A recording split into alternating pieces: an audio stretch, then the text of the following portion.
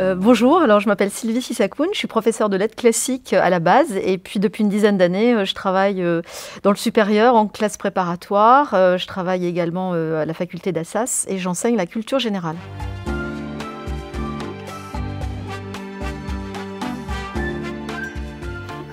Ben, euh, alors j'ai accepté aussi cette mission euh, pour euh, une raison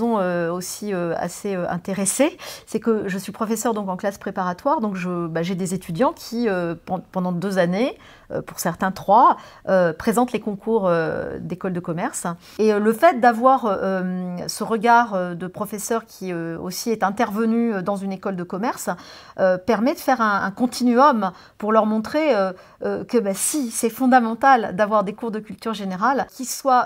orchestré et organisé sur euh, les grandes questions du monde contemporain, puis également parce que euh, on enseigne également une méthodologie, une façon de réfléchir, euh, une façon de nuancer, de trouver ses sources, de les légitimer, et puis de débattre aussi. C'est tous ces éléments-là en fait qui me, que, que j'ai toujours défendus.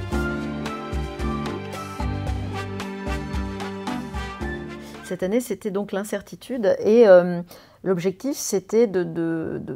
trouver quelqu'un, de trouver euh, trois ou quatre enseignants qui euh, constituent un dossier sur ce thème-là, avec leurs compétences euh, disciplinaires. Donc, en l'occurrence, ma, ma, compétence disciplinaire étant les lettres, j'ai constitué un dossier sur l'incertitude dans la création artistique. Ensuite, la phase d'après, c'est de, de, bien réfléchir au fait que mon dossier s'intégrait dans un, dans un champ beaucoup plus vaste qui s'intitule humanité et management.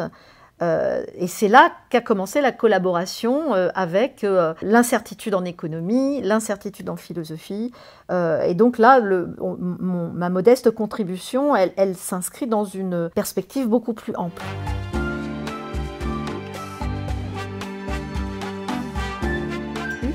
Mais c'est vrai qu'aujourd'hui, au regard de, ce qu'on appelle les connaissances du monde contemporain, euh, les humanités euh, abordent les questions essentielles de l'humain concernant euh, l'écologie, concernant l'économie, concernant la relation aux autres. Et en fait, c'est un angle de vue, les humanités, qui réunit une réflexion à la fois philosophique, littéraire et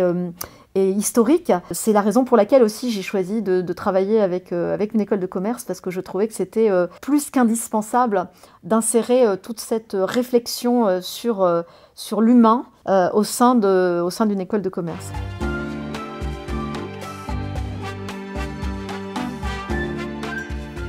Alors c'est vrai que l'intérêt de ce, format de cours, puisque c'est un format assez particulier, c'est pas un cours magistral, euh, puisque le, dossier dont vont s'emparer les, les étudiants, c'est un dossier où ils vont être amenés à réfléchir et à défendre un point de vue. Ce qui fait que ça, hum, ils sont obligés de défendre un point de vue, ils sont obligés d'argumenter parce qu'en face d'eux, il va y avoir d'autres étudiants qui vont défendre l'antithèse. Puis il va y avoir un public qui va observer et qui va, qui va être convaincu et qui vont, trouver que certains sont plus convaincants que d'autres. Donc c'est vrai que je trouve que c'est intéressant parce que c'est exactement ce qu'on demande dans une entreprise, c'est de, de faire une présentation de projet, de défendre son projet, d'avoir anticipé euh, les différentes réactions euh, ou les petits bémols et euh, et le rôle du professeur aussi, c'est de guider dans cette, cette perspective-là.